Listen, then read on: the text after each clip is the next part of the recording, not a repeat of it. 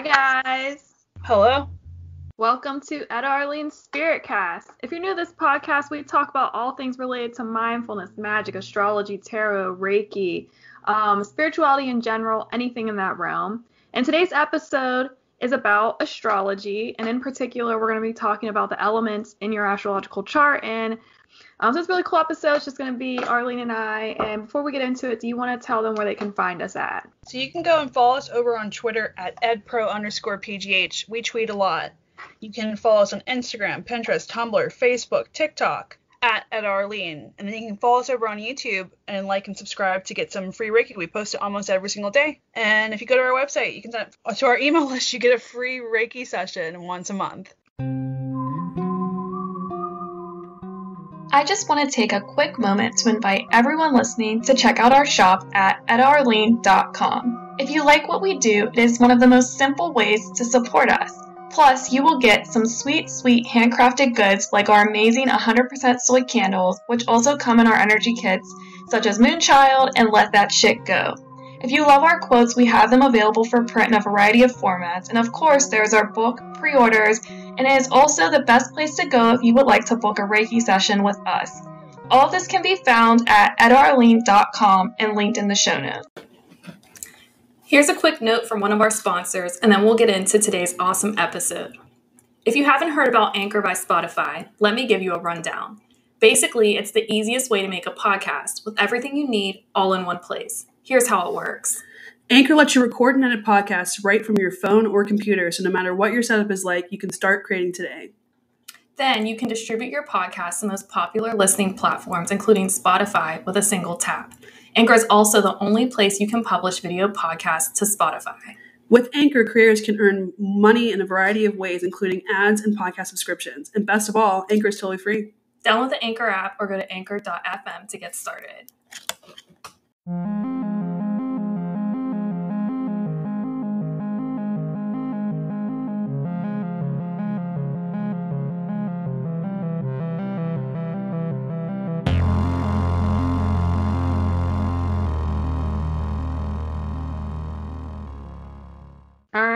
Okay, so we're just gonna get into the elements in the chart. So how this idea came to me was uh, I was on TikTok because I'm fully fully addicted, and I guy had posed a question for WitchTok, and he basically wanted to know what the elements meant in his astrological chart, and in particular, um, he was referencing how we have a certain number of elements, and he wanted to know if his element was completely missing. So let's say he didn't have any air in his chart, what that meant, and did that mean that's what he sought out? So I usually don't like respond to people or anything on on any social apps, I would say, unless it's like our business, right? Yeah, unless unless it's like relevant or it garners a immediate response because you you're all about protecting your energy and doing things when it's meant to happen. Yeah. So like, I want you get done with your to-do list, then you will message. Like, but you don't operate at all like I operate, and it definitely saves you. of. Sometimes I'm wondering why You're my sensei. I'm, I'm learning. I'm learning. Yeah, I w- I didn't want to engage like especially with like WitchTok people because I don't want to get into like a not an argument, but I don't want anybody coming at me like you're wrong or anything. I don't know. I just don't want to engage, right? And I mean, I never do it, uh, but I commented this time, and then I was like, well, I maybe we should do a podcast episode about that because a lot of people might be curious about the um what those elements mean astrologically. So if if you are not familiar with astrology in that way, when you look at your astrological chart, um, I'm sure everybody's heard of like an air sign or an earth sign or fire, you know. So all all zodiac signs are broken down into groups, and you have your earth, your air, your fire, and your um, water signs, and then they each have these energies with them. And so um, we're gonna reference our favorite book, and that's the Witch's Book of Power for this one again, which we'll link. I know we talk about that book a lot, but he just has a lot of stuff in it and he explains everything very well in my personal opinion but he's one of our references for this. And um, he calls them elemental frequencies or presets okay? And um, you know it corresponds with your sign.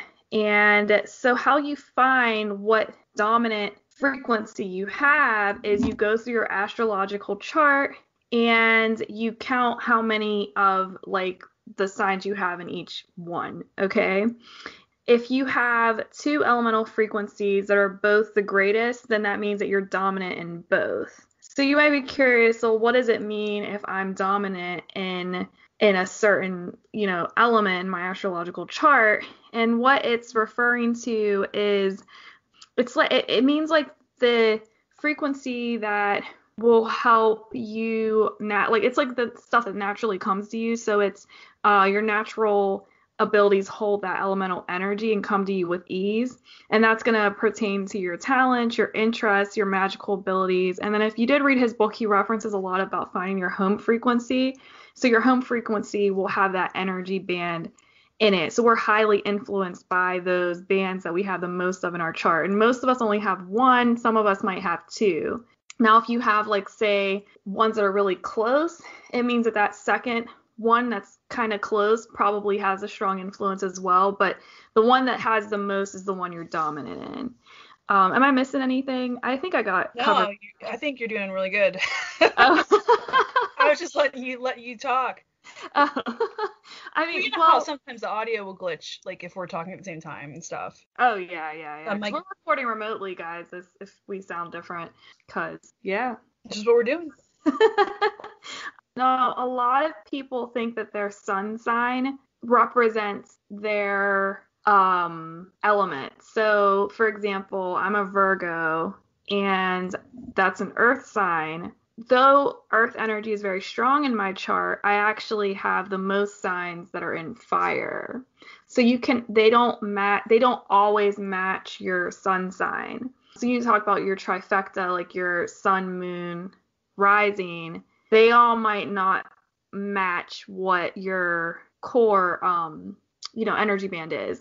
And the only time that those will come into play is if you're equal in everything which we'll get into in a little bit. So um, let's talk about an example of what somebody with a dominant frequency might um, experience magically. So uh, like i said earlier i'm an earth sign with my sun sign but i have fire dominant which means that I would be great at magic involving creativity, passion, sex, destruction, alchemy, and love. Which is interesting, I would say. Uh, I'm very creative, so that's where that fire energy comes into play. Uh, so I think we can go now to our least expressed elements. So our least expressed elements are considered passive bands, and it's a softer energy, but have some form of influence over us and they they basically represent the areas in our lives that we are the weakest in. So a person who has low air and low water, um, they could have difficulty in communicating and might be more reserved. Um, so these are also where we're the most vulnerable, magically speaking. I think that's pretty curious. So I like, could you imagine? I wonder if there's somebody out there who knows somebody's chart and they choose to do a spell to harm them, focusing on that weakness. like, oh goodness. Don't give people ideas. Jeez. Well, I could, you know, the karmic impact would be crazy. I would. Well, I, I think it's showing, like, if you if you're knowledgeable about these things and about your chart placements, and like you said, someone wants to do something wild, if they know that information, it can be um, more potent. So that's pretty cool. Yeah, like a really powerful, like you know, magical practitioner they yeah. could really do fuck fuck some stuff up if they knew. So they would know, for example, um, it's like somebody who was more earth dominant, they would and like had no water, they would probably do something to target them emotionally.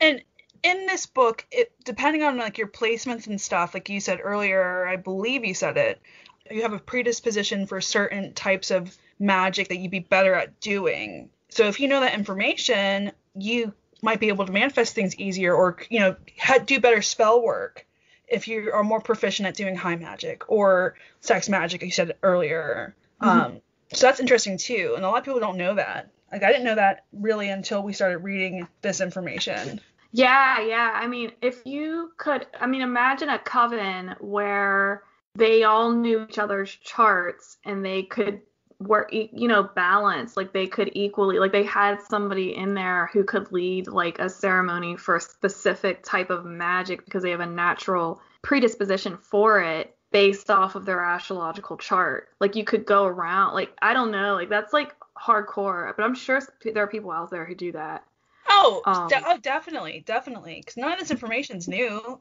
no no no You know I mean? Like, like the the real OG Wicca, Wicca or witchcraft practitioners or magicians know this stuff. It's just just more mainstream now, yeah and it's Yeah. in a very digestible way. So that's why you gotta get this book.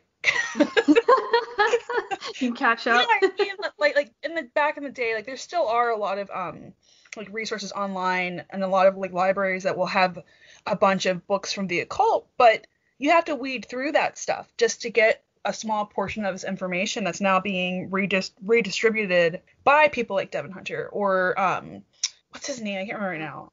Chris Um Penczak. yeah, Chris Penczak. You Uh, know, who else is good? Scott uh, Cunningham. He's really good too. Yeah. So you have these amazing new authors who are know this information and are redistributing it. So why not? Yeah. Oh gosh. Yeah. You don't have Even like um. try to decipher. Yeah. Well, we're all reading Spirit Speaks right now, and that's like you know amazing that somebody could compile all of that. You know, We- like we you were need a book saying. club. We need a book club. We, we, we do. do. a book club. Yeah. That's a good idea. It's Yeah, uh, instead of being it's at Arlene's book club. Let's get Yeah. that. People we all read ask- We have together. web, on our website. We have our like library where we have all of our book recommendations at. So go check that out too. But um, people still ask us like, what do you, where do I start, or what should I do? And we have it organized right there. So Yeah. join us. That's a really good place to start. And then we'll link, you know, we like to try to link everything at the bottom. Okay, let's talk about the missing elements now. So if you have an elemental band that is not present, according to Vedic astrology, it means you've mastered the lessons of that element in a previous life. So that's something that um think about. So we're here to learn. That's why we like come here. And according to this, each element has these like lessons, like something we have to learn because there's something with all of the lessons. So if we talk about like water signs, there's like this emotional component, you know, or earth that this grounding. So there's these things that we need to learn from our elements too. And um, if it's missing, it doesn't mean that you need it. It means you've mastered it and that it's naturally included in your operating system. So it, it's like in your standard model like you come already strong and knowledgeable of that element which i thought was really interesting because people often think the reverse that if it's missing it means that you like oh no and it doesn't Yeah. so when i see people who like people's charts who are missing the element i'm always like oh man like how old of a soul are you That is an indication of an old soul. yeah Yeah. That you were able to master that element We're old Now- souls, but we're not that old yet. No, I don't have anything mass. I I think I'm getting close. Uh, my you know, I guess I don't need to tell everybody my weakness, but I probably already did. So mine is uh, not only did you tell them, you told them how like what to manipulate or whatever to, or to research to to do some serious stuff. um. Anyways, no, but. I I don't believe anybody's gonna do anything weird. But my um my weakness would be the water, well, like emotional stuff. So I but I'm not sure if it means that I'm getting close to mastering it or if it would be like that's what I'm gonna be learning later. So like maybe I'm gonna master fire and it's just gonna come within me later. Who knows? Something more rare is when you have all of your elements balanced. You go in your chart and there's equal everything. Default you would think oh well having my elements balanced like that's good that's good.